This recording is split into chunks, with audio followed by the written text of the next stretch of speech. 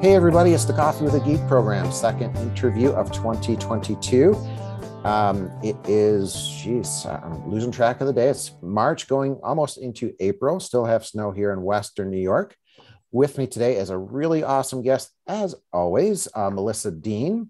And Melissa, I came across you as I, most of my guests on Twitter, and I see a great post, a thought provoking idea, or in this particular case, I saw someone post about you. and that piqued my curiosity. Hmm, somebody's complimenting somebody on, on Twitter. That's usually a good sign. And it was, um, I love that because Twitter can be an angry place, but that was a really nice, positive, um, good vibes feed from Twitter, which I loved. But uh, let me introduce Melissa Dean. She is a seventh grade teacher in southeastern Manitoba, Canada. She has been a classroom educator for 20 years. And as I can tell you, it goes by really fast. Uh, and you've been spanning grades one through 12. So a lot of experience in different grade levels. She is passionate about assessment and grading reform and mathematics education. And in her spare time, she enjoys drinking coffee. That's a perfect segue. Uh, running, writing, and baking sourdough bread. That's good. I like that. I like all of those. So, uh, Melissa, welcome and thank you for joining me today. Uh, let's start off with the toughest question. What's your favorite blend of coffee? My favorite blend of coffee. Well, I'd have to say um, to be stereotypical, my, my favorite blend of coffee is actually the Pike Place blend from Starbucks.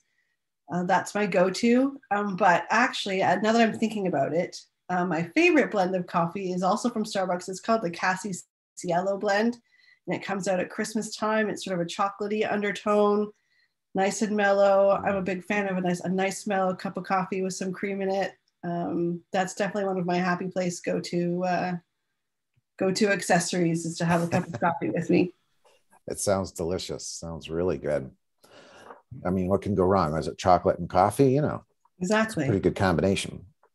So, as I, I, mentioned in the intro, I saw a Twitter uh, link that said uh, you were the inspiration for them. And I thought that was really wonderful. And then I started looking through your feed and thought, wow, this person's really doing some interesting things.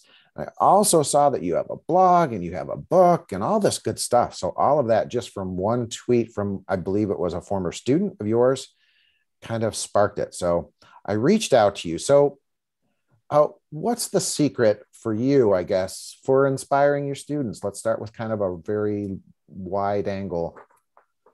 Uh, yeah, I mean, that's, a, that's a really good question. Um, and I've been reflecting on that a lot recently. Um, just because I've had some really great feedback from students and parents as well recently, um, and sort of reflecting on what is it that I do that is that does make make a connection. And it's more than just making a connection with your students. I think there's something to be said um, for the rawness and the realness of authenticity uh, in the classroom, um, and I think that also comes across uh, in Twitter as well. And I think about like why are other people how are other people being influenced or inspired by me and my journey? And I think um, part of that has been that I've been very raw and very real um, with my own journey as an educator and the things I question and the things I struggle with. And I know sometimes I give a voice to things that probably other people are thinking, um, but maybe haven't found their voice yet. And I think that really draws people into connection. And so I think with my students, um, the fact that I am very real um, and and authentic with them, I think they can see it, um, and that draws them more into more than just a connection. I think it really builds a relationship, um, and that spills over into my, uh, my, into my colleagues. I hope, but I know it for sure. It has spilled over into uh, my social media um, work and my blog and my writing. Um, those are things that I use to help share that voice. Yeah, I really liked what you said about authenticity.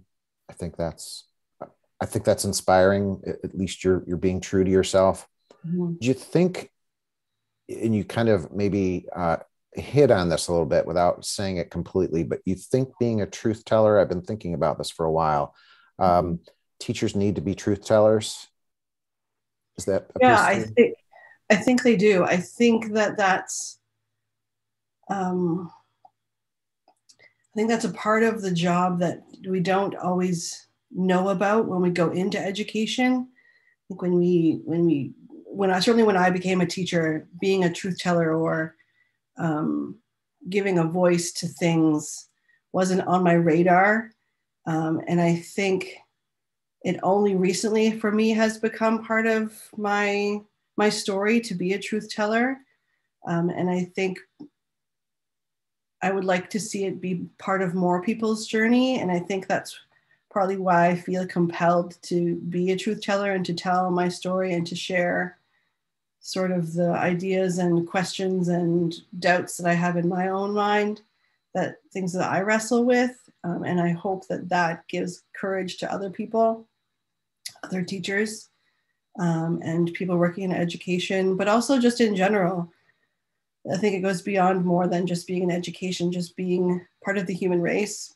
Excuse me, I think being willing to to speak to speak into and to speak to people with that authenticity of, of voice is something that uh, needs to be cultivated more. And I think we don't always do a very good job of it in education. I think we do a really good job of giving students our voice and not giving them their own voice.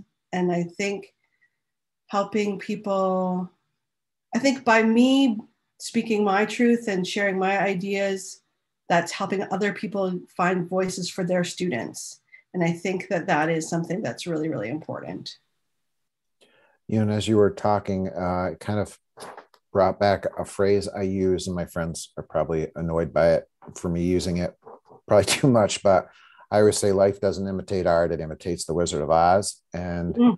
I, I, often come back to that story, despite the fact that the Wizard of Oz scared me to death when I was a kid. Uh, the Wicked Witch, and you know the monkeys, and the. Um, yes. But I think all great endeavors and all great uh, pieces of human human beings need to be heart, mind, and especially courage. And you mentioned courage in your answer there, so I think mm-hmm. it does take courage to often speak truths that may not be popular or. Yeah yeah and, and it's and when you are in a field that is um, when you're in a public field where, where you're people see what you do um, it takes even more courage. And i think even just the act of the act of learning itself is an act of courage. And i feel like that's part of my calling as an educator is to give my students uh, and my colleagues a space where they can learn to be courageous and and learn. Okay, so let's talk about your educational journey. This is one of my favorite kind of questions because it gives me a kind of broad scale of how you got into teaching, and I'm always fascinated by the answer. Hmm. Um, so, what was your journey? Where did you? Where did it start? Where is it going? Um, it started with me as a teenager saying that I knew for sure there was two things I didn't want to do with my life. And that was I didn't want to be a doctor and I didn't want to be a teacher. Those were the things that I was positive of as a teenager. absolutely not going to be a teacher. And I was very vocal about saying and telling my parents I was not going to be a teacher. I'm not sure what I had against being a teacher, but I just felt like I knew that that wasn't going to be for me. Um, so my intention coming out of high school and going into university was to be a laboratory scientist. And i did my i did a four-year uh, science degree in uh, microbiology and immunology and that was where i was going to work. I was going to work in that field. But then in my fourth year i realized something from sitting around the cafeteria chatting with my my fellow classmates was that as much as i loved the content i I loved talking with other people about questions that they had and clarifying things. And I, I realized that what I really loved almost as much as the science was helping people understand the science. And so that began my journey when I realized, you know what, as much as I always said when I was growing up that I didn't want to be a teacher, I think I feel a calling into that field. Uh, and so I did my teaching um, I, after my fourth year of science, degree. I did a teaching uh, degree, which is which was one year at the time in uh, Ontario, and intended to be a high school science teacher, and uh, found myself starting out that way. So I started my career in a private school teaching uh, high school science. Um, really loved that position, but wanted to work in the public system. I felt felt called away from the private system because I think the school that I, and I share a little bit about this journey in my book um, as well. The, the school I worked at when I first started my, my teaching career was a lovely place to start my career, but I felt boxed in there. I, I already felt that there was more that I was going to be called to. And I needed a little bit more space to do that. So I decided to leave my full time position. I resigned, in hope that I would find a full time position in the public system, which at the time was a very, um, it was a very courageous move. It was very much a leap of faith. Most people were very surprised that I was giving up my my permanent contract position at a private school and hoping that I would land on my feet in the public system, because at the time the teaching profession was very saturated in Ontario and it was very hard to get a job. Uh, after that, I was able to be a substitute teacher for a few months, and then I did end up getting a permanent contract position as a music teacher. So I went from being a high school science teacher to being a music teacher. But along with that came a homeroom. So I became a, a grade eight uh, generalist teacher at the same time as I was teaching instrumental music. And part of my my journey that I always like to share with people that's very surprising uh, to them when they meet me now is um, I was a very, as a student, very, um, I was not a good math student. I struggled greatly in mathematics, felt I wasn't a math person, didn't want to do math anymore. I, I went, I, I did my first year math in university and was happy to say goodbye to math for what I thought was the rest of my life until I found myself having to teach math to grade eights. And I had a moment of lightning hit me in the classroom when I realized one day as I stood in front of the classroom, I was teaching math to my students the way I had been taught.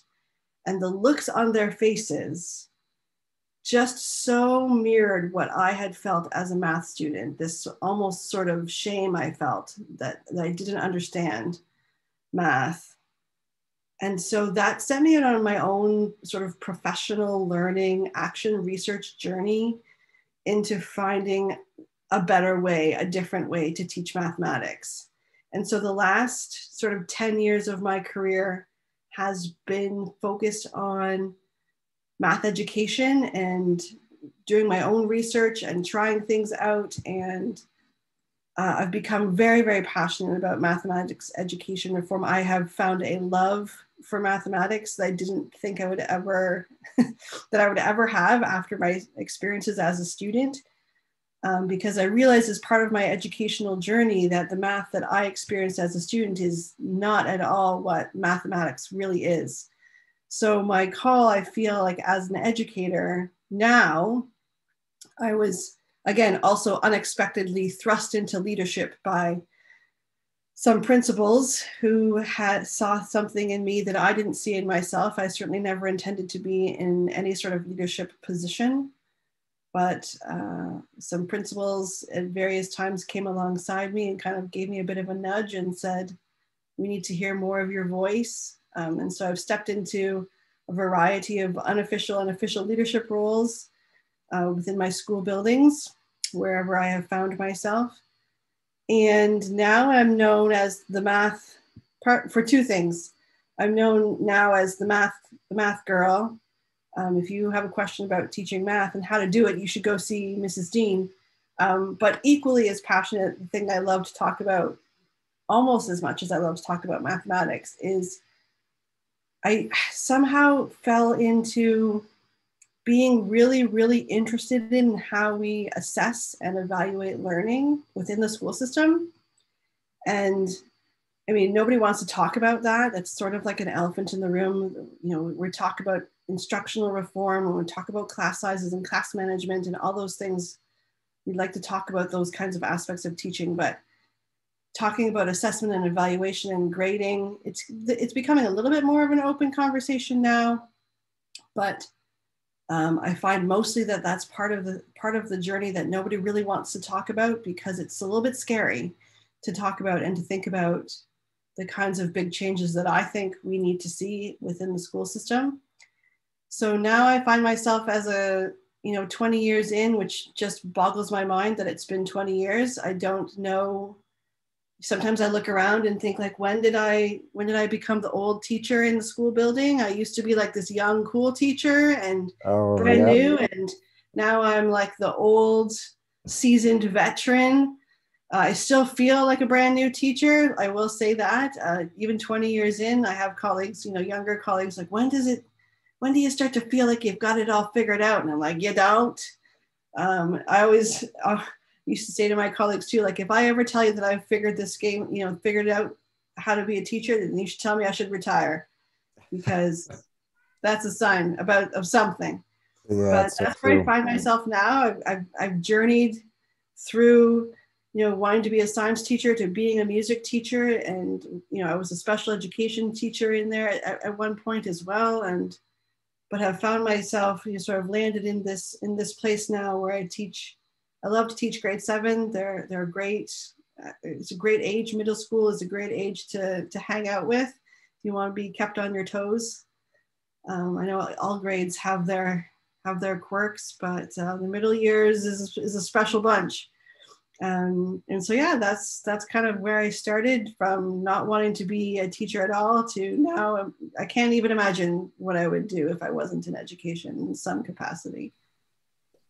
Yeah, there was, was something, interesting, interesting as you were talking. I was thinking about, um, you know, my own teaching as well. I was an elementary teacher, and uh, you know, I came from a science background, a biology major, and I felt like that was my most challenging subject to teach science, and I didn't enjoy it because I had such a high level of it, and it was really difficult for me to to break it back down to get to that, um, you know, that yeah. level of early you know awakenings for science.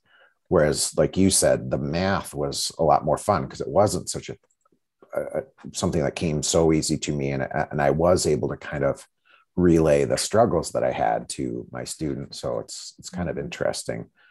I think that's been a really crucial part of for me from my story and part of i hesitate to use the word success but um, to be somebody who was a, who was a struggling math student, I think that's partly what makes me a fantastic math teacher is because I can see and understand the struggle. And, and I know I've had to break the math down for myself to learn it. Um, and so then, then I'm doing that again for my students. Whereas I think if the math came easy to me, I'm sure there's some fantastic math teachers um, who are super strong mathematicians as well. But for me in my journey, knowing that that part of the fact that I struggled so much in math is partly why I feel like I've become a really good a really good math teacher. Um, is because because of I can relate to some of that struggle that my students have. And you also, you know, brought up assessment, and you know, I, I'm thinking of of doing a, a TED talk, although no one would ask me to do a TED talk ever but just um, things teachers don't talk about but they should. And assessment is one of those and i think we I, I, think we feel at the whim at least here in the states you know like well the state says we got to give this test so i'm going to give those tests and that's the way it is and i'll, I'll complain about it but you know we'll just keep going with it and um, i think the data behind tests and, and and and are tests appropriate or good or are they measuring what we want them to measure we don't have those conversations enough because nobody asks us for our opinion, quite frankly, uh, as far as like the statewide goes. And so we just don't talk about them, but I think we need to talk about them. So, with that being said, um, you blog and your blog is really fascinating. I read a couple good pieces and I want to talk about one of them. And it was relatively recent, probably within the last couple weeks. And the title of the blog post was It's Going to Be a Bloodbath. That's a pretty provocative title. Uh, can you talk about, uh, I guess, blogging? We'll, we'll, come to that question second, but tell me about that post and then tell me about blogging and why you like yeah. to blog. Or... that post came out of a conversation I uh, before school. I I walked into the photocopy room and one of my colleagues was there photocopying a test and. It was uh, on one of the subjects that I know tends to be a challenging one for students. It was using nets and finding surface area of sort of complex figures. And I kind of offhandedly made the made the comment to her like, "Oh, that looks like it's going to be fun." And she and then she turned to me and said, "It's going to be a bloodbath." And we both kind of laughed and sort of went on to kind of sort of chuckle about, oh yeah, it's going to be you know really difficult. And then I talked to her a little bit about some of, of the way that she runs tests in her class, which I actually think is kind of a neat, neat way with giving feedback right away. But afterwards, I, I felt immediately compelled to write about it because I realized I'm like, oh, I mean, as much as you know, she she made that comment and I laughed alongside of her. I realized I, I came to this moment of like, oh wow, like how how how do we come to a place where we're going to give something to our students that for them to to do that we know is going to be a bloodbath? Is, we know is going to not go well. We, we already know right away it's not going to go well which then left me reflecting on like then why on earth would we do it? If we know if we know for sure or we, we feel certain that i'm going to give kids this test and it's going to be terrible there's probably going to be crying. Why would we why would we do that? And so that's been part of the whole journey that i've talked to people about assessment on is you know why are we it comes down to the why question. Like why are we doing this? Why are we giving this test? Why are we giving this assignment? Why why are we giving a test now? Why are we giving a test at all?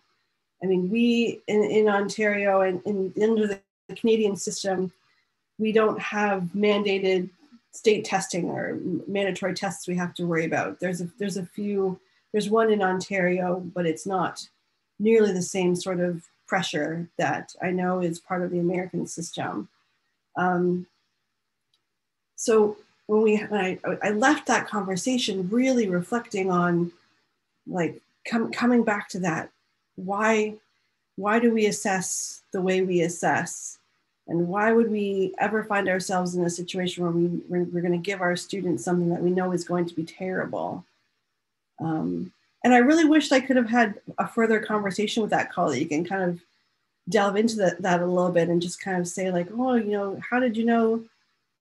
How did you know they they were ready for the test? Like, why did we decide? Why did you decide to give the test today if you knew it was going to be a bloodbath? Why, why, why, why, why, why? Why did you feel that, that how did you know they're ready? Maybe you didn't know they're ready. And that pressure we feel especially in mathematics which i think is different from other curriculum areas we feel this pressure to get through the curriculum standards in a certain time frame. Um, and there's that element of like well at some point i have to give a test and move on. Um, and what i would what i would want to say to that and what, what i wrote about in that particular blog was um, can we get to a point where we feel where we can release that and not feel like we have to get to a certain place and then we have to move on knowing that not all of our students are ready to move on? They're not all with us yet. They're not all successful yet. Um, because i think we can get to a point where all of our students have demonstrated some elements of success with a, with a particular standard before we have to move on. So that was kind of the inspiration for that particular post. Yeah, and really tied into what we talked about before about uh, having that conversation about assessment. And you know, I think back to my teacher training days. Uh, you know, one of my kind of uh, I, I could choose this in my in my course. It was just educational psychology, but the course was really all about assessment. And uh, the professor was Dr. Ronald Gentile. He's from University of Buffalo, and I, I want to give him so much credit. He inspired me, and and and I'm going almost on 28 years, and I still remember his quotes from taking his course. And I remember one of them that he would say often is, "If you want your students, if if the proof is in the pudding, have your students make pudding." You know, um, and the other big concept that I would walk away from was, um, you know, he he started off the class by breaking down assessment and data and statistics and all of that and showed that most times we give tests and the st- statistical analysis is completely arbitrary. It's it's just a judgment call that a teacher created this kind of arbitrary goal. And it really doesn't you know value it doesn't show what you want it to show and uh, which brings me to his other saying was you know he said he'd had conversations with his colleagues said well i only had you know five failures this year. And he said you let your students fail?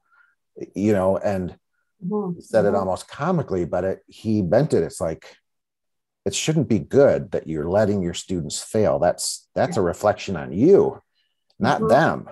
Um, and it's also a reflection that you were willing to give up on them. Um, and it, kind of ties into the to the bloodbath thing if you walk into a test knowing your kids aren't doing it aren't going to do well what is that saying you know yeah. um,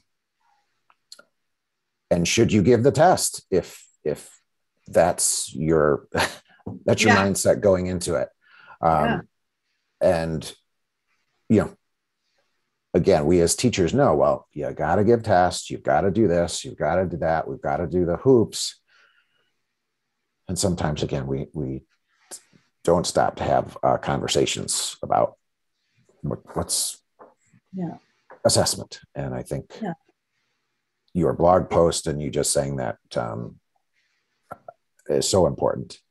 Um, I think one of the things too that we we need to address too with teachers is that notion of, and you touched on it a little bit as well. Like, you know, I don't know that we're always assessing what we think we are assessing, um, and you know that coming coming back down to that too, right? Like, you, if you really look at your our assessments, whether they're you know unit tests or high stakes assessments or, or, or even just a quiz you know what is it that you are really assessing with that with that tool and do you really need to? Um, i think that's a question that's got to be part of the conversation. Yes a good assessment is going to be challenging. Um, it really is and um, not to to go too deep into it, but um, the course that I took with with Dr. Gentile, he said, you know, letter grades are, again, they're arbitrary. They're they're mm-hmm. based on almost phantom data. Mm-hmm. So what he did was he had three uh, he had three tests that you had to pass through mastery. So you had to get 80% above. Now that really upped the ante on your studying, I must say, because I've never studied so hard. If and and if you didn't pass, again, based on his his kind of thought of I don't let my students fail, if you didn't pass, you had to come back to his office. You had to go through the, the questions you missed, and he was going to give you an alternate assessment. He was, he was going to oh. make you take, you know, again, a smaller assessment based on what you missed, but he wasn't going to let you get away with not knowing the material. Oh. Again, so it was a motivator for the student, but it was also like, I care about you knowing the content and I don't want you not to know it. And, you know, and all three of his tests would have questions from the previous, you know, tests. So uh, it wasn't, you couldn't let that go. You had to, you had to constantly go back and refresh yourself from, from the past.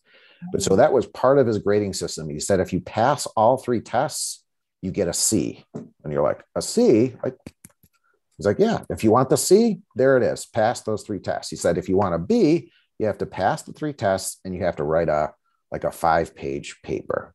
And the paper was pass fail. so and we're all like, pass fail, you know, pass fail. so of course you try and do your best work because you don't know what he's gonna is he gonna throw throw it out for grammar? Is he gonna throw it out yeah. for content? Is he gonna is he gonna look at your paragraph? You know so you you did your best paper ever because you knew you didn't want to it was pass fail. You didn't want to mess it up. So yeah. over, over, a spelling error you know? Um and then he said so that gets you the b the three tests that and then his final thing was he said do if you want an a pass the three tests, pass fail the second essay, and then there's a, another essay that's a 10 page, I think it was, yeah, I think it was 10 page, so five page, 10 page, a 10 page serious essay on these topics. And again, pass fail. So um, I never learned so much in my life. Um, and, uh, you know, again, the grade was a was C CB or or A. I mean, you could get a zero if you didn't do anything, but um, it it just blew my mind, and I I I've often wondered like why do we why do we all why are we so stuck on the 91 or the you know the 85 or the mm-hmm. uh, mm-hmm. you know i don't know we could, we could talk about this topic i think for a long long time i think so too yeah absolutely one of the things i wanted to touch on that you said there that is really just like resonating with me so much right now is is you know like this notion of of why are we content to let kids not know the content right like i and why why are kids at the same time? Like like i have kids in my class who would be absolutely content to do nothing and learn nothing. And and just think about like like on on one hand as a student why why do they feel okay with that?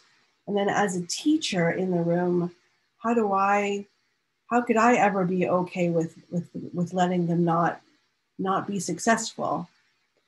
Um, and just the way you phrase that as part of that conversation that just really that just really hit me right there. I'm like oh that's that's going to be a blog post i think. Well you can quote dr ronald gentile from from university of buffalo. He's absolutely. I'll never forget the course. Mm-hmm. um, i'm going to kind of skip over the ed tech trends to look for although if you have a quick one uh, feel free to shout it out. But i want you to tell me about your podcast and your book. Yeah. Um, yeah, I my my podcast is just a little it's a baby podcast. It's something that i just recently started.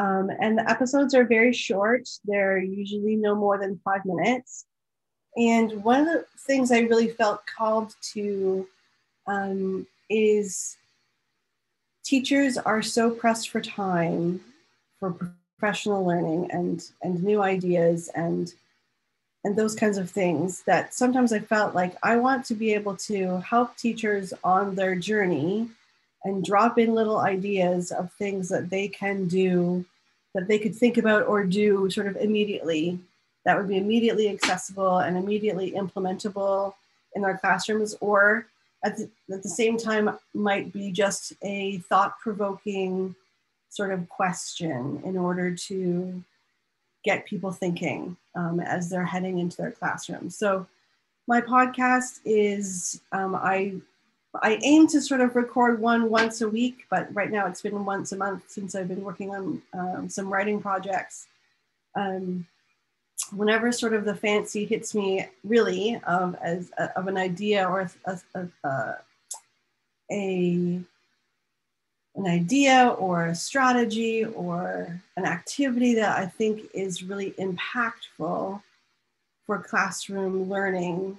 Um, whenever that sort of strikes me, then I record it live. I don't script it. I just sort of have a conversation with myself, really, about um, about that idea. So my most recent uh, episode that I recorded is about um, a thinking protocol or thinking strategy called hexagonal hexagonal thinking, which is a discussion tool that can be used sort of in any content area that gets kids thinking about connections and really deepening their understanding of a particular topic. And I used it in my math class, I used it in my science class, I tried it out in my social studies class, and it was something that I found really, really um, to be really beneficial for my learners and also for me to get to know what my students know and don't know. And so I just like this needs to be a podcast. Um, so sometimes ideas become podcasts, and some sometimes they become blogs, depending on um, how I'm feeling that day. Really, sometimes it becomes both. Um, I might podcast about an idea that I have, and then also blog about it because I know it reaches different audiences. Um, but it's just something. Again, my whole goal right now is to get ideas into the, the hands and minds of other educators. And as many different ways that I can do that, um, which is why I'm really active on Twitter. It's why I blog. Um, my blog is where I first found my voice and have found that that has been a medium that really has been impactful for people who read it. Um, and so, same with my podcast. I thought this is just another platform where I can help inspire and share my story and be courageous for other educators. And, and so my book was also was also just exactly that. It was been had been rumbling around inside my brain for a long time. Um, I knew I wanted to write. I've always felt called to write, which is why I started my blog. I wasn't um, sure how I was going to do any writing. I just felt called to write. And then I was approached by the company that's my publisher that in the, this past summer. They asked me if I would be willing, if I had any interest on in doing some more formal writing about assessment and evaluation. And of course, I was like, absolutely, that you you're speaking my language. That's exactly what I would love to write about. Um, and so being able to take those ideas and bring them to life in a larger format in a way that I hope is really accessible to other educators. I knew that I didn't want it to be a very, you know, huge, long, difficult read. I wanted it to read very much like a blog, very much like my blog post in, in the same sort of style, the same voice that I have in my blog. Um, it was such a such a joy for me to write, to get those ideas out um, and now to see it in the hands of other educators, I've always felt like, I mean, it'd be great if it was really successful and lots of people, excuse me, lots of people read it. But if only one person reads it and and it and it causes that one person to reflect on their practices, then that's that's my goal. Um, would I like to change the world? Absolutely do I hope to change the world of even of, of one person, which then has a ripple effect to their students and their colleagues? There's nothing more I can ask for than being able to do that through that medium. Oh, that's awesome. That's a great way to kind of wrap things up here too. Um, but we still have our speed geek questions, so let's yeah. rattle through some of those, and I'll turn you loose. And so let's see, I'm gonna actually, let's see if I can share my screen and we can get the questions on the, on the board here. So let's do this and let's do, there. Okay, here it goes. Can you see my screen? I can see most of it. Okay, yeah, let's see if we can't. Uh, there, there we go. Okay, here we go. Oh, and What's your favorite tablet? iPads, Kindle, anything like that? Oh, that's a hard question. Um, my favorite, my favorite tablet I would have to say is my iPad. Um, mostly because I modified my iPad to have a. I'm not sponsored by Paperlike, but I put a Paperlike screen protector on it, so it feels like writing on paper, and that was a game changer for me. I I used my iPad briefly in the classroom, um, and I have an Apple Pencil, and I was using it. Didn't love the way it looked or felt. But once I put that screen protector on there, it be, that became a game changer for me, and I use it extensively in my classroom all the time. Wow, cool. Okay, I'll have to check into those. I've never seen that. Yes, do it. If you have an Apple Pencil, it's brilliant.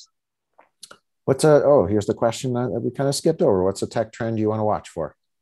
Yeah, one of the things I'm watching for, and that I've had the chance to try out in the ed tech world, particularly, is apps and platforms that are used to help teachers gather authentic, in the moment, real time assessment.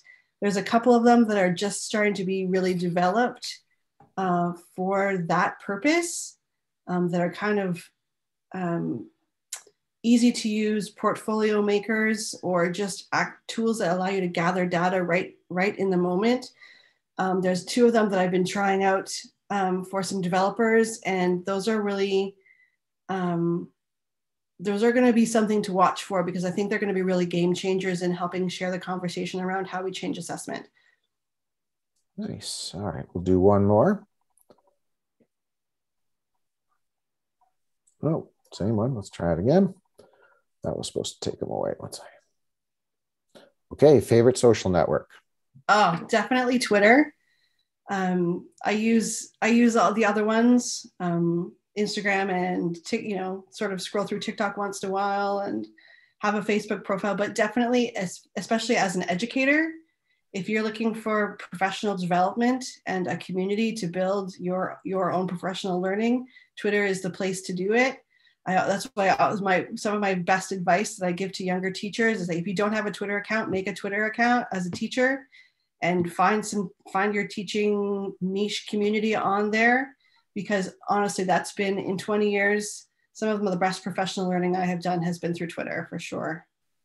Great yeah. I, I, I like it too. Like i said it got a little crazy last year and sometimes it gets a little too hot for me so i have to kind of take a little break but i do agree. Who you follow uh, and you can kind of filter your conversations to ones that are uh, meaningful to you so Melissa, it has been great talking to you. Thank you so much for taking time out of your day and keep up the great work. I'll be following your blog and Twitter and uh, all good stuff. So thank you so much. It's been all a right. pleasure to talk with you today.